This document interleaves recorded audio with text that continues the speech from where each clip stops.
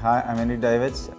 The brand is, it's really exciting brand. I think it's one of the more innovative brands in the country for where they're going and what they're uh, busy doing for the better of cricket. It's been exceptional. Uh, it's helped me take my cricket to the next level, playing at the highest level obviously. I think it's for the, for the future, for the guys coming, it's going to expand and make their game more innovative and more exciting.